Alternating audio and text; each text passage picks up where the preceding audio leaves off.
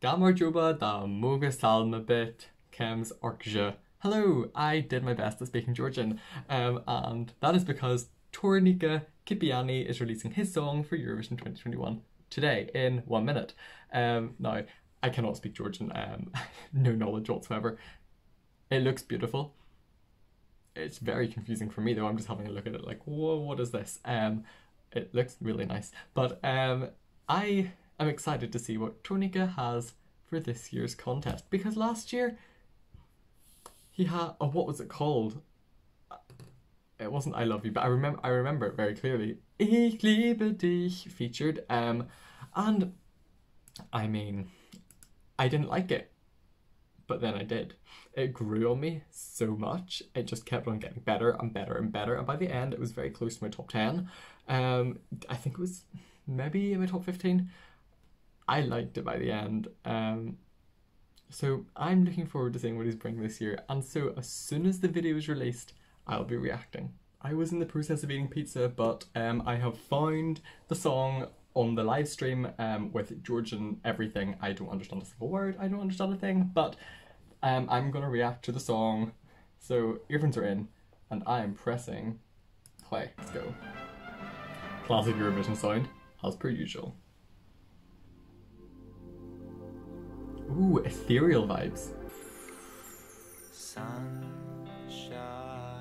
Okay, very slow.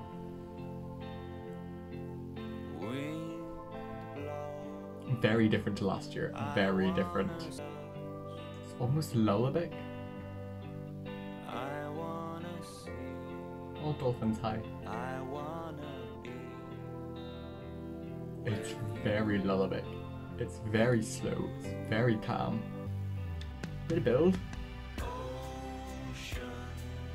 This is very, very different to anything else really have in the competition so far. It's very simple. Don't know how effective it is yet.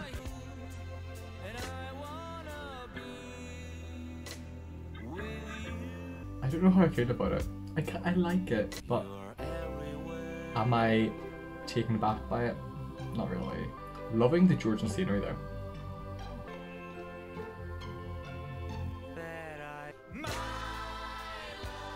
That is a powerful moment though whenever the back part comes in.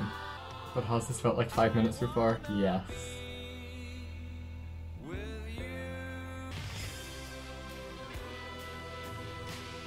It's, it's really interesting.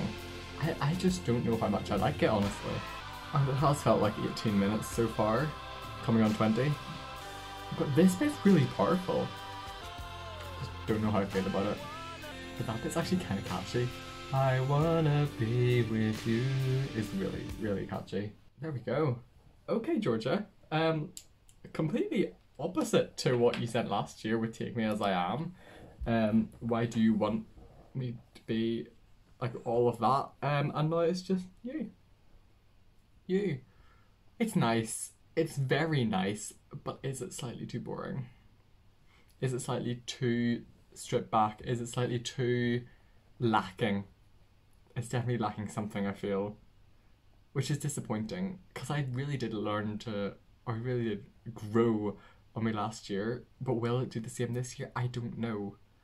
I really don't know. But I am completely open to seeing whether it will grow me or not. Um, and I'm excited to listen to it more. And you know, hear more, learn it, etc. etc. But that is all the time I have for today. If you did like this video, don't forget to like, subscribe, leave a comment down below, do all that great stuff. But thank you all for watching and I'll see you all in the next video. Bye.